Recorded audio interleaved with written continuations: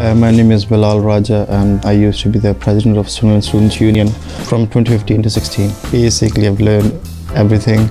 I've learned how to manage my time, confidence building, public speaking, how to deal with different matters in different scenarios. Like I had to meet all sorts of people uh, from um, students age to uh, executive level. I had to travel all over, how to manage my journey ahead, all sorts of things.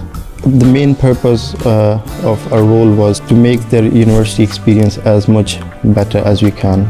President was um, the face of SU and uh, was in charge of everything. Obviously, with the support of the staff members who were great at that time and they were working along with us. Uh, actually, with their support, we had one of the successful year. I was basically in charge of taking care of students' interest and learn what the students are facing, their problems, and what kind of issues they're having, and take it to the next level. We used to travel a lot. I had a chance to um, represent our university at the parliament.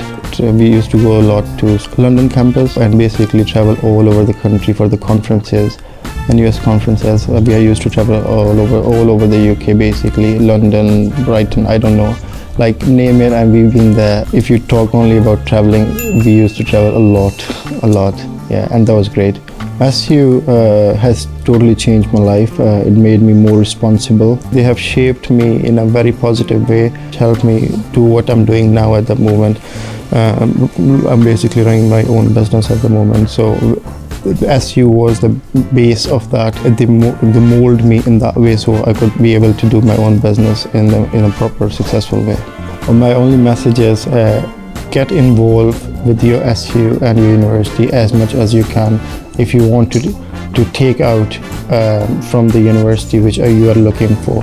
You have to do um, things differently. You have to get involved with the university and especially SU is here for you. So the more you get involved the more you will get from the university and for your future